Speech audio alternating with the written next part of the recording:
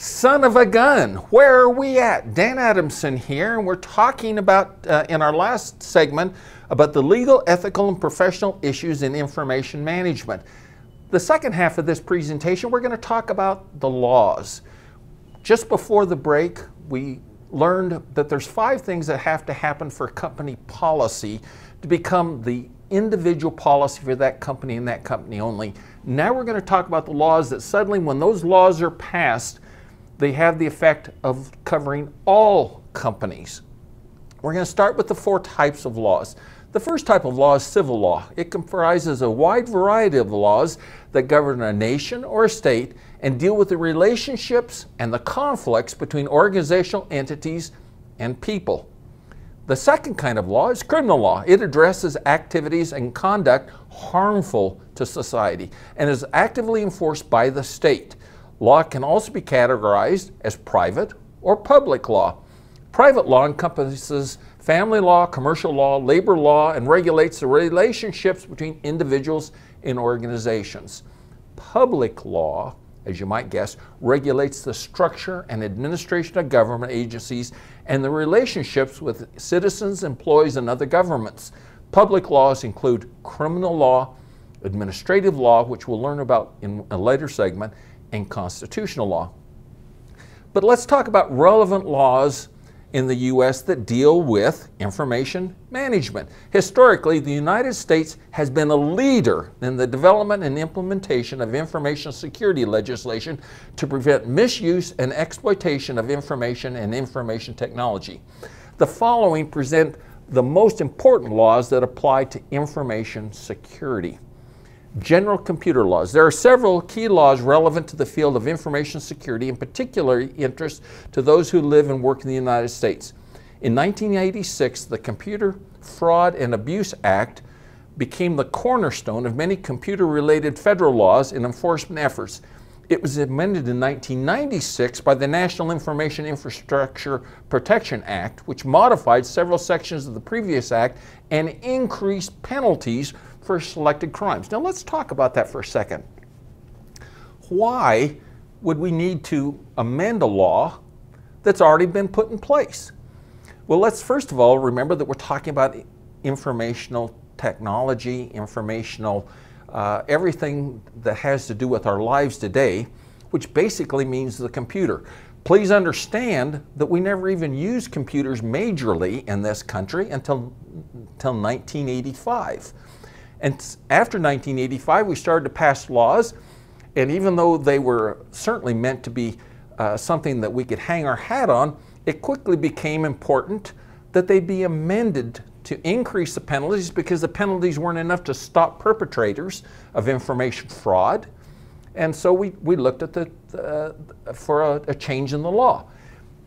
Not only that, if we look into the future, in the not too distant future, all the laws that we have on the books may not even be relevant anymore as information technology moves into even a bigger, broader plane, more technical, uh, more sophisticated, and the old laws may not even be important anymore, and then we'll create new laws for the particular situation that has to be looked upon. The punishment for the National Information Infrastructure and Protection Act uh, uh, under the statute, it increased the fines and took imprisonment up to 20 years or both. The severity of the penalty depends upon the value of the information obtained. Think about it for a second. Do you think that the legislators, as they're passing these laws, just simply say, well, we're going to give them five years for this or 10 years in prison for that? No, they look at thresholds, and based upon those thresholds, then they try to match the penalty to those thresholds. And so if someone is in violation of the National Information Infrastructure and Protection Act, they want to know was the purpose of the criminal act for purposes of commercial advantage? Was it one company stealing from another company? That doesn't seem very right. So we're going to increase uh, that if there's been commercial advantage as a result of that.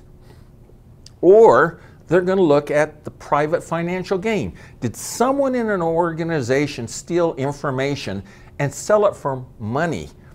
That seems to be kind of a drastic step. Someone just lining their pockets with cash at the expense of some company, we're going to give them closer to the 20 years instead of closer to two or three years. Was it in furtherance of a criminal act? Think about that. Was there other criminal acts that were involved? Was it dealing with someone that was working for the mafia that was looking at lining their pockets? Was it looking at something that could have been treasonous by selling the information to another government? If the furtherance of another criminal act was involved, then there's going to be all sorts of uh, in, enhanced penalties, enhanced fines uh, for that kind of act, uh, activity. In this previous law, along with many others, was further modified by the U.S. Patriot Act of 2001. We've heard of the U.S. Patriot Act. It simply gave the United States uh, a greater latitude to check on what its citizens were doing in an effort to try and find perpetrators of terrorism. But let's also remember that terrorism has many, many forms. It's not just cutting people's heads off and, uh, and uh, having roadside bombs. It could also be something as critical and as serious as uh, interfering with, say, the U.S. electric grid and creating some sort of a virus or some sort of a, uh, a computer activity that could shut down the power in the United States. Maybe no one would be killed, but millions of people would be affected. So the U.S. Patriot Act came along and increased penalties even further and gave the United States government greater latitude to look at all forms of terrorism, not just physical forms, but information and technological forms. The U.S. Patriot Act was amended by the U.S. Patriot Act Improvement and Reauthorization that took 14 of the 16 things that had been done in the original act and beefed them up and reinstituted them so as they move forward, uh, uh, uh, these things would be covered. And again, not just for physical acts, but also for informational terrorist acts. Uh, also, uh, reset the expiration date written into the law or so, so, so-called sunset clauses uh, for certain wiretaps under the Foreign Surveillance, Foreign Intelligence Surveillance Act of 1978 or FISA. FISA simply says that if you're going to look at this information, you have to have a court order, and some of this information is so classified that we have to have a special court called a FISA court that will issue these wiretaps, that will issue these subpoenas, that will issue these uh, court orders to get this information so that we can run down and hunt down these criminals as it happens. Another key law is the Computer Security Act of 1987.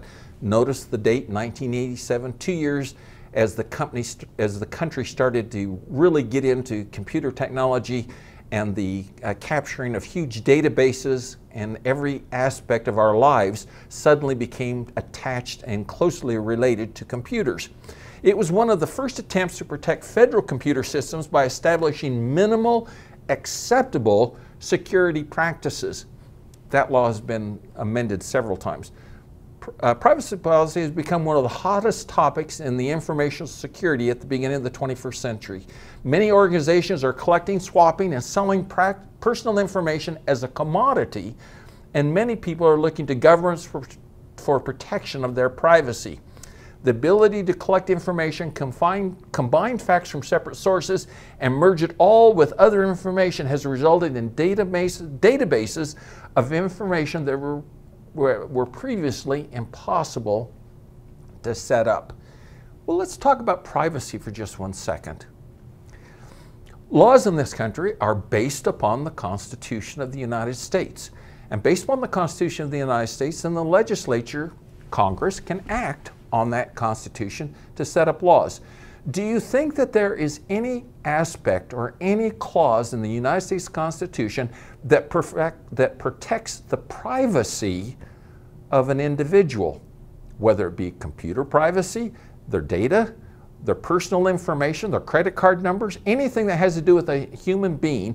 Do you think that there's anything that says that that privacy is protected in the United States Constitution? The answer is absolutely not. It's been created by Congress by taking little bits and pieces of the, of the Constitution, cramming it all together, and saying if you take this part, this part, this part, and this part, the framers of the Constitution must have been talking about privacy. Therefore, we're going to act on privacy that is a requirement based upon our informational age, our computer age that we've moved into.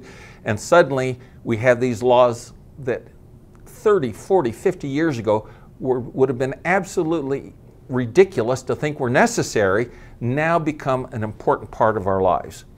Why? Because of things like theft, identity theft. Uh, related to the legislation on privacy, it's a growing body of law that deals only with identity theft. How do you steal someone's identity? If you look at those words by themselves, somehow the human being's identity is being ripped off of his visceral uh, being and taken away from him. No, we suddenly realize that this identity goes away from the body and into a computer. And if it goes into a computer, that identity can be stolen to the detriment of the person who's had their identity stolen from them. But just think about the words sometimes, and you realize how far we've come in identifying things that just several decades ago would have been ridiculous to even thought, thought to talk about. Identity theft now is a major consideration in this country and will continue to be as long as uh, computers store all of this information that tends to identify us as human beings with the rest of the world. Let's talk now about ethical considerations. Ethical and information management. Many, if not most, organizations have explicit rules, corporate laws, governing ethical behavior in the workplace. For example, doctors and lawyers who commit egregious violations of their profession, canons of conduct can be removed from practice. But unlike the medical and legal fields, the information technology field in general and the information security field in particular do not have a binding code of ethics. No binding code of ethics? Well, someone ought to fix that, and they have. They have created the Ten Commandments of ethical considerations that every organization ought to think about if they're truly going to protect people's information. I'd like to go over these Ten Commandments. I think you'll find them pretty interesting. The first commandment Thou shalt not use a computer to harm other people. How in the world can a box on a desk hurt anyone? But we all know now that they can hurt people. They can hurt them mightily. A little box with a lot of on and off switches can cause harm to people that 40 years ago would have been unheard of. Thou shalt not interfere with other people's computer work sitting and typing on a computer, we have to protect that? Of course we do.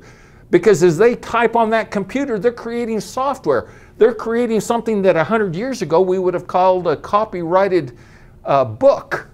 They're talking about creating something in that computer that can do marvelous things that are completely unheard of just several years ago. Third, thou shalt not snoop around in other people's computer files. Do you think there was ever a law when people had files that were in file drawers? Do you think that we needed to have a law that says people will not open a file drawer and look at files? But all of a sudden, it's critical that we protect those same files once they become digitized, once they become uh, capable of being spread through the worldwide net? Absolutely. Fourth, thou shalt not use a computer to steal. Once again, Stealing is a human function. That box that sits on the, on the desk can't steal anything. Only the person using that box can steal. But one of the Ten Commandments is, Thou shalt not use a computer to steal. Five, Thou shalt not use a computer to bear false witness. My word, that sounds religious. Can a computer have enough uh, hu uh, humanization that we have to worry about it bearing false witness? But think about what happens with, on, on Facebook, what happens on Twitter. People can bear false witness all day long and truly hurt people, drive people to, to commit suicide because the, the computer has allowed us to bear false witness. Six, thou shalt not copy or use proprietary software for which you have not paid. Hmm, that's interesting. Need to pay for someone else's efforts. Seven, Thou shalt not use other people's computer resources without authorization or proper compensation, sort of related to the one before. Eight, thou shalt not appropriate other people's intellectual output. Again, just like the copyright of the great American novel of, of several decades ago. Nine, thou shalt not think about, thou shalt think about the social consequences of the program you are writing or the system you are designing. Isn't that interesting? That goes directly to the dark web, uh, to uh, social media sites that are promoting terrorism. Thou shalt not do that is one of these Ten Commandments. And 10, final on the Ten Commandments for the ethical considerations for information management, thou shalt always use the computer in ways that ensure consideration and respect for your fellow human beings.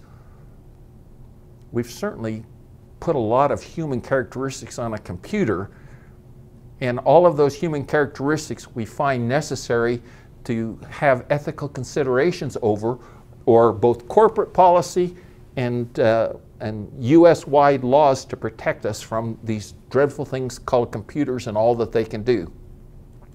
Deterring unethical and illegal behavior. There are three general causes of unethical and illegal behavior as it relates to information management. First is ignorance. Ignorance of the law is no excuse. However, ignorance of policy and procedure is. That just means that uh, uh, the, the corporation hasn't worked hard enough to get the employees smart enough so that they're not ignorant anymore.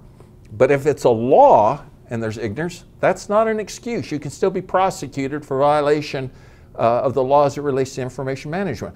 The most important method of deterrence is education that is accomplished by means of designing, publishing, and disseminating organizational policies and relevant laws, and also obtaining agreement to comply with these policies and laws from all members of an organization. Reminders, training, awareness programs keeps the policy information in front of the individual and thus better support retention and compliance. Second, these are the three causes of unethical and illegal behavior. Accident. Individuals with authorization privileges to manage information within the organization are most likely to cause harm or damage by accident.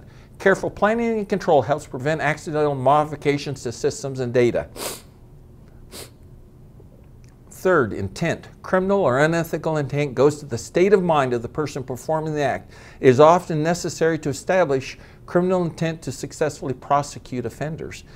Protecting a system against whose those with intent to cause harm or damage is best accomplished by means of technological controls, vigorous litig litigation, or prosecution if these controls fail. Whatever the cause for illegal, immoral, or unethical behavior, one thing is certain. It is the responsibility of information security personnel to do everything in their power to deter these acts and use policy, education, and training and technology to protect information systems. Well, isn't that interesting? If having a policy violation, an ethical violation, or a criminal law being violated is getting into the information itself, all of a sudden we have these security personnel that are the first line of defense in keeping them out. We, for the first time in U.S. history, have given a substrata of a corporate level the ability to stop crime. Because if those security policies, those security uh, uh, ways in which they keep the information from being stolen in the first place are so important, we've turned it over to a group of professionals that didn't even exist 30, 40 years ago. Many uh, security professionals understand the technology aspect of protection, but underestimate the value of policy. We know how important it is, but we don't know how to create the policy. It lines that company up to have their, their uh, uh, information stolen or misused. Uh, there are some ways, though, in which ultimately they can control it, whether they have great systems or not. One is the fear of penalty. Potential offenders must fear the penalty. Two, there has to be a probability of getting caught. We're going to have enough safeguards in our uh, information protection that we're going to be able to see when there's been a violation of our policy and information is slipping out to the wrong people. And third, the policy of the penalty being uh, administered. Potential offenders must believe that the penalty will, in fact, be administered. So, what we've talked about here in our last two segments are the legal, ethical, and professional issues in information management. We've looked at situations that may be illegal, may be against policy, or maybe none of the above. We're, we've talked about the fact that a whole new range of laws are in effect that were never in place just a few years ago, and the importance of security in information management. I hope that you understand that in the years ahead, this will only become more technical, more important, and more uh, uh, uh, effort to stop and, and control the information that are on these computers uh, than almost anything else in, that we've ever seen before. In our next se section, we'll take a look at some other things that I think you'll find very interesting. Signing off for now,